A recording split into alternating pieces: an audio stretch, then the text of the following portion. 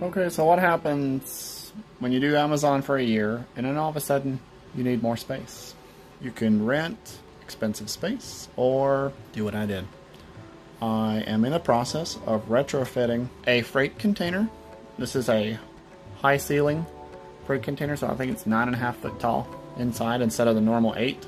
As you can tell here, it has some sort of either aluminum or stainless steel polished sides. And I'm in the process of, I divided it. It's a 40 foot container, so I've got 20 feet on this side. And as you can tell, it's still quite under construction. So let's pan tilt zoom around here. This will be the shipping area. Oops. I'm still getting used to this gimbal as well, so bear with me.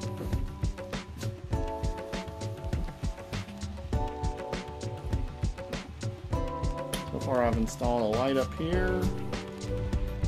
a door and a window on this end. It's a, it's a regular door.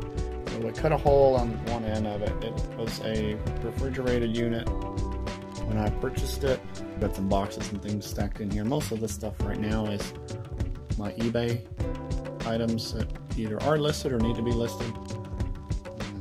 But eventually, we will have a shipping area right over here in that area. We will be building a table there. As you can tell, I've got all kinds of little things sitting around that just each needs their own home. That's going to be the big one, is to find the home for things. So let's hope that that happens.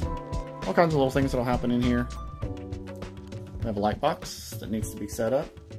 Television installed. Um, UHD TV. It's a 55 inch. This table is our workbench for the moment. And I apologize if the light in here isn't that great. And that's all for the moment. Uh, thank you, Addie.